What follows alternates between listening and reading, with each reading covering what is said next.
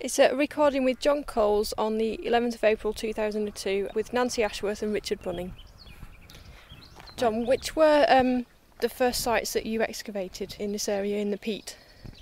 Well, I was working in Cambridge at the time, and Harry Godwin was professor of archaeology, professor of, of uh, environmental sciences at Cambridge. He'd been working in the peat for many years, perhaps over 20 years. And he was the one who introduced me to the environmental aspects of the peat, and my other professor, Grahame Clark, introduced me to the the archaeological implications of what was going on in the Somerset levels, and they both, in their own way, introduced me and brought me down, and showed me around, and um, persuaded me successfully to undertake the work. And the first little site was a site that Harry Godwin had worked on at Shapwick Station. So when we first came down, the railway was still functioning along the old South Drain, and the railway station at Shapwick Station was still there, a nice wooden building. And Godwin had found some elk droppings and some pieces of worked wood at the Shapwick Station site. And that was my first little excavation with four students, I think it was, four or five students. And I was able to advertise that the communications were such that you could get the train from somewhere or other and actually stop at Shapwick Station, and there was the site. It was the easiest access to a site that I've ever had in my life. And we would work away and the little train went by about once a day. Soon after that, of course, it was whisked away by Her Majesty's government, and that was the end of it. And how long was the excavation at that site? How many months? Weeks? Well, we were just we. I think that was probably a two-week exercise, but I think within the first three days we realised that there was going to be very little structural evidence still surviving on that particular little site. And so we started to do field work straight off. And I think that was when we encountered the Abbots Way over to the over to the west and began to think about picking that up. Because that was a site that Harry Godwin had heard about, had been found in the 19th century, and had dearly wanted to find again so he could do his environmental work but he couldn't find it at the time because peat, peat cutting wasn't going on at the right places and so on, or depths. But when we carried out, out our little work, uh, there was the Abbot's Way in section. So that was, I think, my, my first proper excavation. About 12, no, 8, to, 8 to 10 meters of the Abbot's Way, with again a, a student party of uh, I think it was three people, all of whom went on to become, I'm happy to say, famous archaeologists. Well, there's Pat Carter, who uh, ended up as a keeper of archaeology at Cambridge University Museum. Uh, Vinnicombe Carter, Pat Vinnicombe Carter, professor in South Africa. And Garth Sampson, who's professor of archaeology somewhere in Texas. And they're all quite experienced people when they arrived, and mm. they were. Starting with John Coles on the in the peat. Well, I was working in Cambridge at the time, and Harry Godwin was professor. Of, introduced me and brought me down, and showed me around, and um, first came down the along the old South Drain at Shapwick State Building, and that was my first little for students. I was able to advertise that it was the easiest access to a site that I've ever had in my life. And we would work away. And how long was the excavation at that site? How many months? Weeks? Well, we little site to do field work. Straight that was when we eh, and up. Godwin had 19th century to find again but he couldn't find it. Peat cutting wasn't going on places and so on. Uh, I think it was three people, all of whom went on to become, I'm happy somewhere, and they're all experienced. Mm. They were very, and the peat cutters were very unaware was around.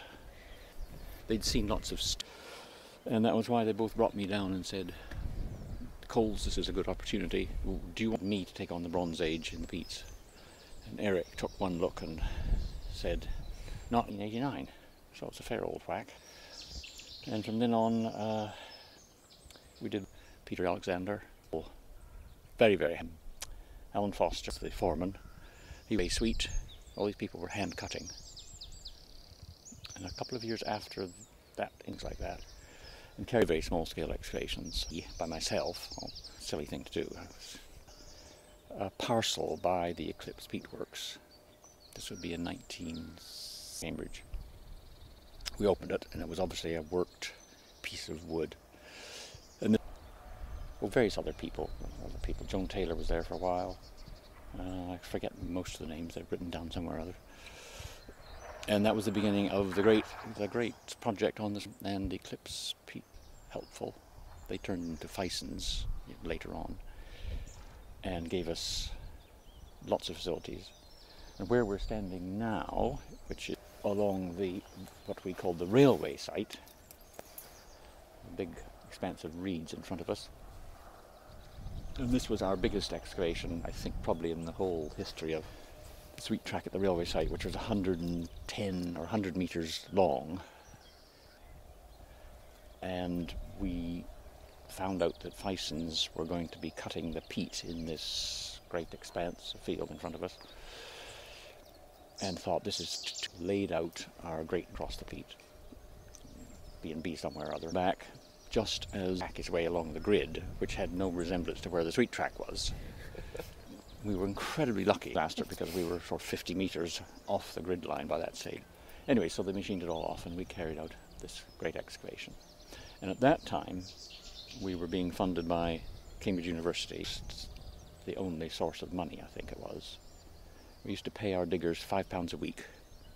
And when we were full, when we had our full complement, anybody else who came, and we would still get diggers for a pound a week. And they'd camp at Rose Farm. And, uh, and anyways, that, that at this time, the Department of the Environment were aware wrote me a letter and actually offered me money. Would you like some of our money? Which must be a fairly unique. and we said, I said yes, pounds.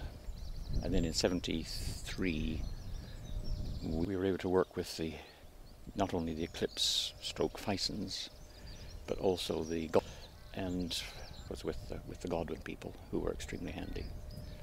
And in the middle of, uh, we also got in contact with the some of the farmers who had structures on their land that we had managed to trace the Abbots Way, the Bell track, and they, they were all very anxious to please and, and give us permission and so on. And as you probably know, the, the Bell track ran into the West Hay Island, and beside it was the, um, the structures after local companies and local people. Yes, it did. It did. It, I think it was just an insp. I think they quite enjoyed it. Um, the Eclipse Eclipse hurdle track and so on, please stroke Fisons. One or two people complained that they hadn't got, hadn't been named yet. And I said, well, you haven't found. Um, and of course, the, the best one was he was such a, a wonderful man. And, and people do wonder why it's called sweet. Mm. Were people over his were? No, I don't think they probably were. Uh, attitude towards things in the peat and things made of wood. Down at Shapwick at the factory site on the sweet track where we carried out big 10 metres wide and so on. And all this fantastic wood would be laid out and we'd have open days which are always terribly successful. And people would come along and look at this wonderful Neolithic gold, you see. And you just thought, well, it's a bit of old wood in peat. And it wasn't, and we began to date. But the normal, I think, peat cutters were interested, but it, and it's also true to say that some of the peat cutters, unnamed, just couldn't care less. They, they just they just thought that we are being paid piece rates and we should just press on. And very experienced peat cutters who always reported things to us. Most of our discoveries were made by peat cutters, not by us. And so, our, as Richard well, well knows, made most of his discoveries in the pub or something like that, because that's that was where you know, Waltons and Rowlands and all manner of structures. Do you think that there were any artifacts that haven't been handed in to you? I should think uh, and visit as many of the peat cutters' homes and farmers as possible whenever this. But that's just the luck of the draw, and you just do the best you can with that. And, and the important thing was that remit from the Department of the Environment and English Heritage was not really to go around and find of information that had no context Mm. association and so on. These are not terribly important. Mm. It was the environmental setting that, that Mm. allowed us to not only standard pollen analysis and peat to more or less invent. I mean, it wasn't anything to do with me, but there's people we employed invent studies of beetle in that. There's a whole range of techniques that were in the levels, and all that had to do because when we we asked the county museum um, if they were in or Bronze Age, very little of which had ever been found or survived for conservation, and they said we would be interested in results, but we can't pay for any conservation. So we decided to set up our own story, so-called. And the first lot was the Abbot's Way timbers, which I took back to Cambridge, and tank in my study in Cambridge um, with fish tank heaters and wax bathtub, and we conserved some Abbot's Way timbers there. Not very well, but it was an attempt. We went to Fison's, the eclipsed Peter, to Peter Alexander, and said, "Can you help us?" And he said, "Yes, you can have such and such a building." And we installed our own system, and we ran off his Fison's electricity. We were supposed to pay for it, but after a year, they said, "Well, we forgot to read the meter." So, so Fison's actually paid for the conservation for about eight years of tanks running non-stop. I mean, it was a huge electricity bill, and we conserved and experimented with different methods and so on for years and years and years. It was always it was always a, a very difficult procedure because conservation lab in the levels miles from Cambridge and miles from Exeter, and a field archaeologist having to work in the field and Mm. monitor this and so on. And uh, I would never do it now, but um, it seemed to work. And the result is that I think I, that Somerset Levels prehistoric woodworking collection is the biggest probably in Western Europe. Nowhere else they have have they been able to preserve so much, such a, a good sample of Mm. prehistoric woodworking. So I think at the end it was it was well worth it. And we did have I remember when we set it up, I had a lot of um, irate letters from professional conservators saying how fine, you want to set up your lab, you must employ a professional conservator. And I said, you know, send us the money. And they said, we haven't got any money, but you, you, how, how dare you try and conserve things without a professional conservator? And I said, well, tough. So we just went ahead and did it. And then English Heritage, as Richard knows, had this little wood studies, this booklet business, Mm. this report. And I remember attending the meeting of all the professional conservators who were concerned with wood, Jim Spriggs and all the others, English Heritage. And they'd had a little survey done, and they said, now where, where are the good collections of wood, you see? And somebody said, well, the only real collection is from the... And I sort of smiled. He said, Somerset Levels. And I said, yes. And the conservators said, hmm, yes. and one or two said, well, well done. Because if, you know, what else could one do? It's, I think it's true to say that the Somerset Levels project was was very much a, a do-it-yourself. We had to we had to invent the techniques to, to dig, and there were some sometimes they were good, and sometimes they were maybe not so good.